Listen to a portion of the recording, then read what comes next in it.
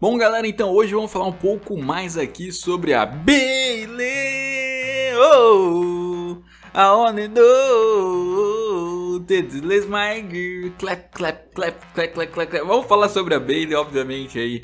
A Bailey que é uma super estrela que essa semana chamou muito a atenção aí por conta da polêmica que aconteceu na Extreme Rules de ela simplesmente ter ido lá e feito todo aquele roubo de ter virado a juíza no meio do combate e ajudado a Sasha Banks a ganhar, entre aspas, ali o título da Asuka, o título feminino do Raw.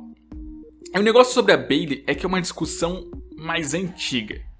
Porque o pessoal, de modo geral, sempre fez uma certa perseguição na Bailey. Desde os tempos de NXT. Porque a gente estava em um NXT onde a Charlotte tinha sido campeã, a Sasha Banks tinha sido campeã. E aí depois a próxima campeã foi a Bailey.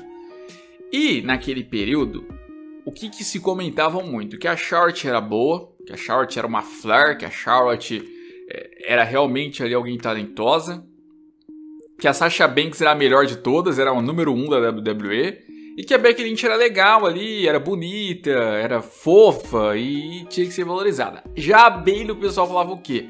Ah, a Bailey é o John Cena feminino. A Bailey ela não tem o mesmo talento que as demais, porém o personagem dela ali, por ser infantil, vai vingar, ela vai dominar ali quando chegar na WWE Main Roster. Esse era o primeiro discurso. Depois, com o passar do tempo, o pessoal virou hater da Charlotte, parou de chamar a Sasha Banks de melhor das mulheres e começou a dizer que era a Charlotte, só que ao mesmo tempo também pegou ódio da Charlotte e disse que ela era muito ajudada ali por ser feia do Ric Flair. É, e sobre a Bailey, foi a única que eles manteram a mesma opinião de sempre. Porque a Beck, depois de um tempo, ganha popularidade, né? E o pessoal ali muda aquela visão de que tinha dela ser lá só uma garota fofa e começa a enxergar ela como uma pessoa rebelde ali, igual ela se tornou depois, né? B10, igual ela gosta de se chamar. A Charlotte, o pessoal muda de opinião tanto sobre o talento dela, dizendo que ela se torna melhor, e também sobre o personagem dela ganhar muitas oportunidades, dizendo que ela é forçada. E a Sasha Banks, o pessoal ali é, muda de opinião em considerá-la a melhor, só que ao mesmo tempo continuam gostando dela. A Bailey não. A Bailey, o pessoal enxergava ela ali como uma super estrela chata, sem graça. Ela no personagem Babyface recebia vaias algumas vezes e sempre manteve o sucesso entre as as crianças, assim, as garotinhas, ela sempre manteve esse sucesso. Mas tirando isso ali, o resto do público vaiava ela simplesmente por vaiar. Sabe, ela virava campeã ali, não, não pode ser campeã. Ganhava um combate, não, não pode ganhar o um combate. Tava entrando, não, não pode entrar.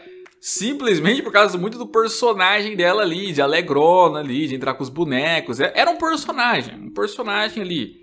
E assim, a Bailey ela nunca chegou a ter grandes momentos assim em comparação com Charlotte, por exemplo. Né? Ela ganhou lá um, um combate na WrestleMania que foi a grande conquista dela, mas ela nem chegou a fazer um reinado longo ali, né, naquele período.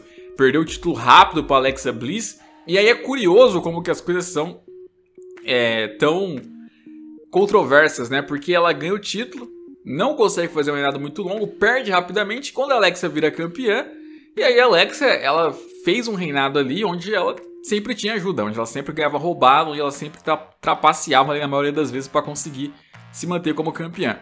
Havia gente que criticava, gente que defendia Alexa Bliss. De qualquer maneira, o ponto não é nem esse. O ponto aqui é o seguinte: é, a Bailey, quando era babyface, quando tinha o antigo personagem, o pessoal falava que era chato. Quando ela muda quando ela se torna Rio e atualmente faz o que, por exemplo, Alexa Bliss fazia no passado e alguns elogiavam, hoje o pessoal critica, hoje o pessoal diz que a Bailey não deveria estar fazendo isso, que isso é enjoativo. Sendo que, anos atrás, a Bailey rivalizava com uma Alexa Bliss que agia igualzinha ao que ela age hoje, o que ela Bailey age hoje, e o pessoal defendia a Alexa e ia contra a Bailey. Hoje a coisa inverte, hoje a Bailey faz isso com a Alexa e hoje a perseguição é na Bailey ainda continua sendo na Bailey, porque se fosse realmente a questão da atitude, o pessoal hoje seria a favor da, a, a, é a favor da Bailey e contra a Alexa. E não é isso. Eles continuam contra a Bailey, mostrando que é uma perseguição à pessoa e não à atitude dela e não ao personagem dela. Porque se modificou. Aí é que é o, o ponto principal. O personagem dela, que o pessoal tanto criticava, mudou. ela se tornou essa rebelde toda, mudou o penteado, mudou o visual. E vem se tornando uma rio concreta, uma rio sólida ali, que realmente faz umas promos irritantes, que rouba, trapaceia, é ligeira. E tem talento em ringue a Bailey. A Bailey é uma boa lutadora. Não é, assim, o top das melhores ali, não tá no top 10 talvez, mas é uma boa lutadora. Se for comparar com a Alexa, é melhor que a Alexa. Tem lutas melhores que da Alexa, por exemplo, e que não é perseguida, Alexa Bliss. Não é perseguida. Vejo gente pedindo push pra ela, vejo gente pedindo push pra Mandy Rose, pra Liv Morgan, e a Bailey já mostrou mais que elas em ringue, por exemplo. Né? Mas aí, não pode Bailey. Por que, que não pode Bailey? Eu tento compreender por que não pode Bailey. Bailey que fez grandes lutas já, inclusive no NXT com a Sasha Banks, uma das lutas que mais inspiraram a galera. Bailey que melhorou muito na Mix Kill. Bailey que modificou o personagem, então dois personagens diferentes continuam não querendo aceitar Bailey. Então eu, eu quero entender, sabe? Eu quero entender o que, que tem de errado com a Bailey, o que, que o pessoal não, não consegue engolir na Bailey. A Bailey tá ajudando a Sasha Banks. Sasha Banks estava parada aí há mais de um ano, o pessoal não valorizava ela. A Bailey se une a Sasha e a Sasha começa a ganhar os títulos de novo, começa a ser valorizada de novo, começa a estar, entrar numa storyline interessante que pode render aí muito em breve um, uma rivalidade entre elas, um combate interessante entre elas. E mesmo assim, o pessoal insiste em dizer que Bailey não deve estar ali, sabe? Ah, Sasha ganhar, beleza, mas não com a Bailey. A Bailey tem que estar longe. Eu, eu, sério, eu quero entender. Porque pra Charlotte existe o argumento de que, ah não, a Charlotte ela é filha do Rick Flair, então por muita qualidade que ela tenha, tem que perder sempre. Becky Lynch não, porque a Becky Lynch é forçada. E é engraçado que quem chama Lynch forçada hoje, eu sei que aplaudia Lynch quando, quando a Honda era campeã. Eu sei muito bem. Quando a Honda era campeã, lá naquele estilo dela, ah, não, porque Honda Rousey não é verdadeira fã de WWE, ela nunca será aceita por nós. Ela precisa perder, vamos, Beck, Beck, Beck. Aí a Beck ganha. Aí não, porque a Beck ficou muito forçada, não, porque a Beck. Meu irmão, você tá vendo? Cê olha um pouco para trás e olha a quantidade de incoerências que você tem.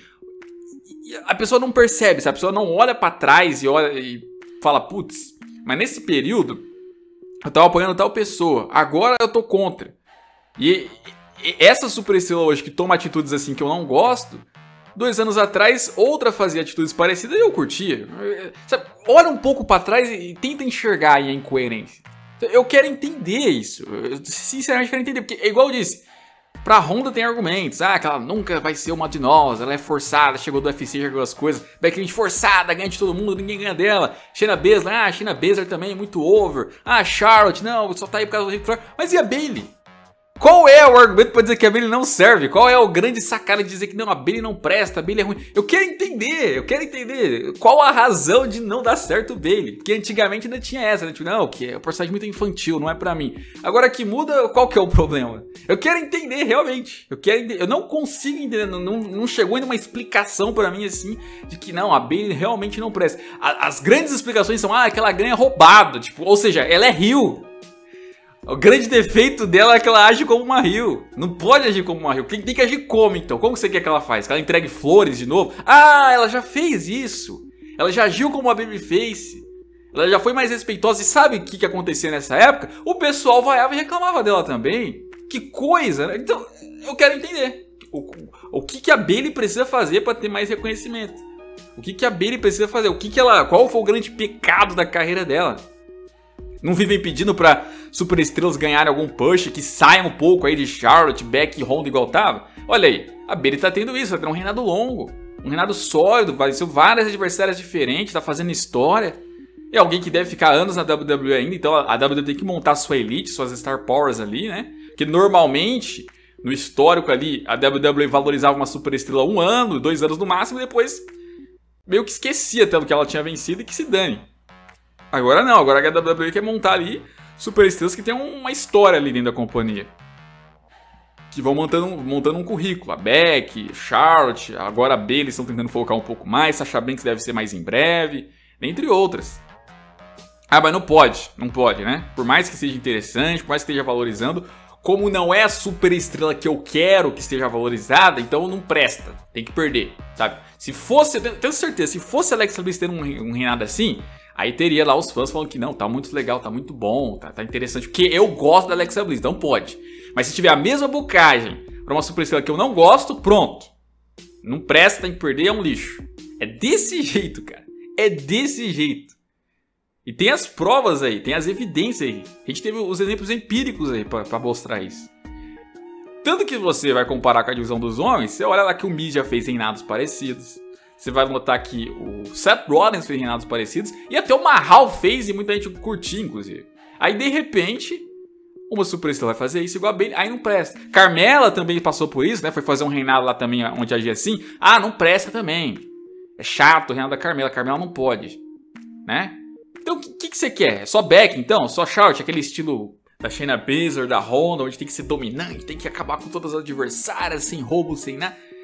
Aí vivem reclamando disso. Mas quando vão fazer diferente, reclamam. Então, sabe, é umas coisas que eu tento entender. Eu, eu, sinto que a análise na divisão feminina entre os fãs ela é muito diferente, tá ligado? É muito naquele sentido de tipo, não, eu gosto de uma super estrela e eu gosto dela como se fosse, sei lá, minha namoradinha. Então, tudo que ela fizer, eu vou aprovar. E se ela mudar de atitude, eu também vou estar tá aprovando o que ela fizer ali, daquela maneira. E aquelas que eu não gosto, independentemente se estiver fazendo a mesma coisa que minha super estrela que eu gosto faz, eu vou estar tá criticando elas e defendendo a minha. Sabe? Então não, não é muito no que tá fazendo, se é bom ou se é ruim. É simplesmente assim, quem tá fazendo. Se quem tá fazendo é alguém que eu não gosto, não importa se é bom ou se é ruim, eu vou estar tá contra. É desse jeito que eu comecei a reparar com o passar do tempo. É dessa maneira que eu tô começando a ver. E sinceramente eu acho isso muito bobo. Mas comentem opiniões de vocês.